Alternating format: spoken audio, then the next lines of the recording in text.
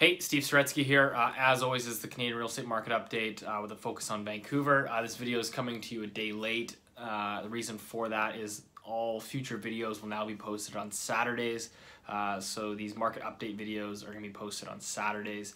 Uh, the reason being, basically, I've decided to add in a video editor who's basically going to clip in charts and graphs overlaying on top of uh, you know when I'm speaking just to provide you know a little bit more value, bit maybe a little bit more entertainment and knowledge uh, info for you. Um, I just figured it'd be a nice added bonus. So basically, what I'm to do is obviously recap the market uh, every Friday when the all the financial news basically comes out, and then uh, Dee's to edit it, and then we're to upload it on Saturday. So that's the plan moving forward. Um, so I mean, obviously, love your feedback on that, but that's that's sort of the plan. If you like any of these videos, obviously hit subscribe, thumbs up. I appreciate the support. And uh, in the next couple days, I'll be doing a Vancouver real estate market update. I know a lot of people have been asking uh, what the market is doing. Obviously, we had the mortgage stress test coming in January, so everybody's sort of waiting for that uh, to see how that shakes, you know, shapes up. Uh, like as I've been saying, though, I mean, the majority of people are on 120 day rate holds, um, and so I think you're you're really gonna take some time for that mortgage stress test to work its way through the system. I think we had a lot of panic buying uh, a lot of panic registrations for mortgages and all that sort of thing in December. Uh, that looks to be continuing in January, and you know the activity, particularly in the condo market, has just been insane. Uh, you know, a couple quick stories I'll touch on, and then I'll leave that for the market update video. Um, but again, this is mostly in the Fraser Valley. That's where like all these locals are just, you know, a lot of first time buyers. Basically, just a huge fear of missing out. Um, where I had one realtor tell me there was he was in a multiple offer in a one bedroom in Abbotsford. Uh, there was eight offers, four of them were subject free. Uh, this was like an older, leakier building, um, and it went like fifty thousand dollars over ask. Uh, another realtor in my office was involved in a two bedroom multiple offer in Maple Ridge. Uh, that received 15 offers and uh, you know again i mean that's maple ridge right? Like that's you're talking an hour outside of vancouver now. So it's really become that drive to qualify. Um, i think that again people are, are, making rush decisions with these new mortgage stress tests. Uh, so i do think the next couple months are going to be busy and then we'll sort of wait to see how things play out. But i think that in terms of mortgage stress tests and impacts i don't think that's i still believe that um, you know that might not come in to really play until like the summer. Um, but again, you know, we'll we'll see how that plays out. Um, couple things in the news uh, that I want to touch on: uh, pension funds buying up mortgage, Canadian mortgage debt. Um, you know, they have a basically a mandate to. These pension funds have a mandate to buy up a certain percentage of the portfolio of uh, debt, and um, you know they can't all be invested in the stock market, obviously so they're now switching a lot of it to Canadian mortgage debt. Obviously, is the the bond market has been relatively unattractive uh, for quite some time. So they're basically going towards Canadian mortgages, and you know some people say, "Oh, that's like super risky," but at the end of the day, is these Canadian mortgages are all backed by the Canadian government, aka you, the taxpayer. Uh, so obviously, if anything goes like that, uh, it's really just more incentive for the Canadian government to make sure that people are made whole on that, uh, particularly when pension funds, which are already underfunded, uh, are now heavily invested in Canadian mortgages. Um, and you know, ultimately, at the end of the day, you know, the Canadian pension fund bought up their increase in mortgage debt increased by 38% on a year over year basis, it was just like astronomical.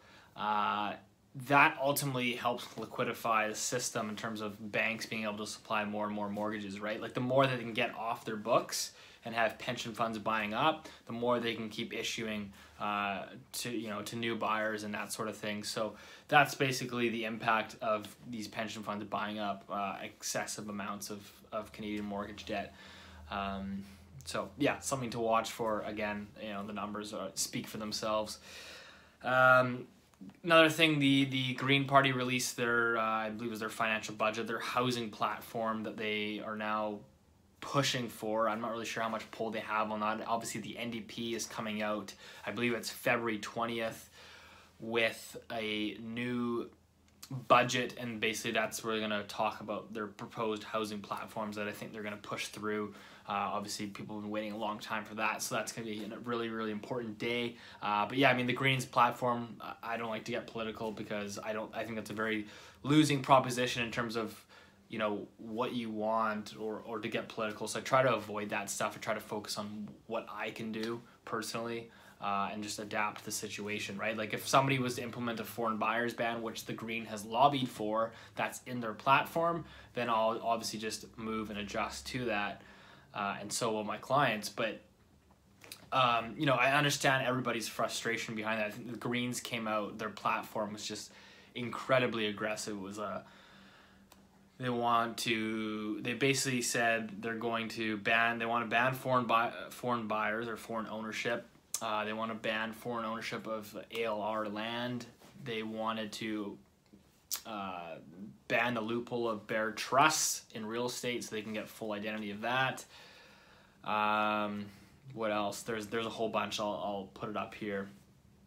But you know, basically, end of the day, it's a very aggressive platform. There's no question if that was implemented, that house prices would fall.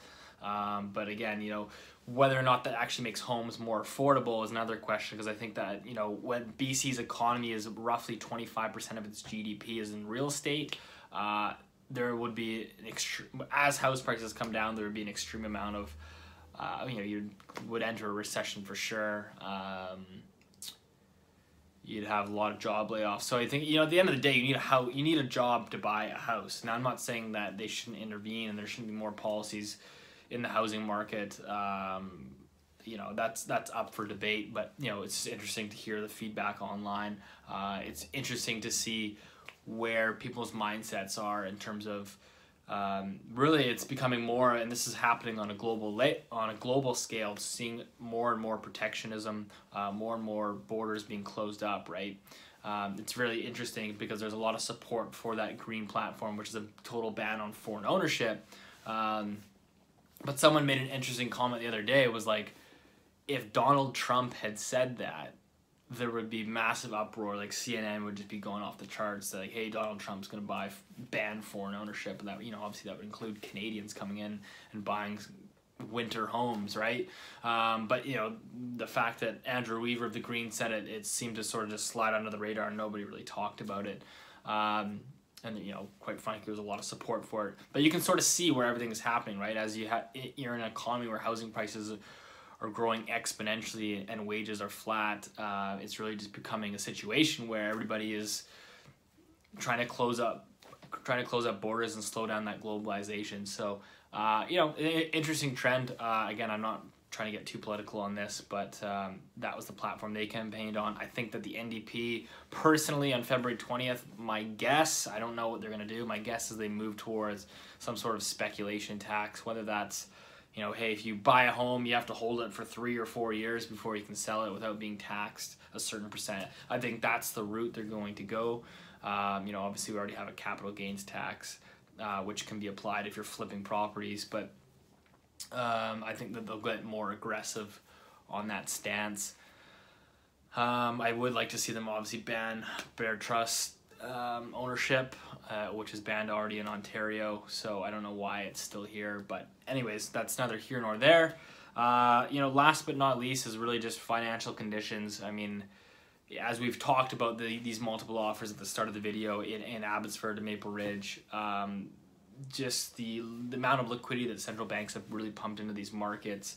Um, you know, financial conditions have never been this loose, uh, really in, in quite some time, and so you can see that not only with uh, you know the stock market and bond prices and real estate prices globally everything is and, and even bitcoin all that stuff uh, up until recently has been hitting new highs right um, so it's interesting the old uh, Fed chair. I'm sure a lot of people know Alan Greenspan, uh, who was infamous for the 2000 uh, stock market bubble. Recently came out and interviewed. The guy's like 90 years old now. I don't know. He's just clinging on, but uh, he says he believes there's a, a, bubble in the stock and bond markets, which you know is interesting coming from a guy who really was arguably responsible for grow, blowing the last two huge bubbles in the stock market in 2000 and the housing bubble in 2008. Uh, but you know, anytime that guy speaks, it's it's it is quite interesting. So he was on Bloomberg, the other day talking about that, and and that just to me is on like a macro level, and you can obviously tie back into Vancouver and just see like the amount of exuberance out there uh, that we're seeing. So yeah. Anyways, uh, that's all I got. Uh, hopefully these you like these edits. Love some feedback. If you have any comments, put them below. Uh, if not, it'll be I'll see you next Saturday from here on out. All right, take care.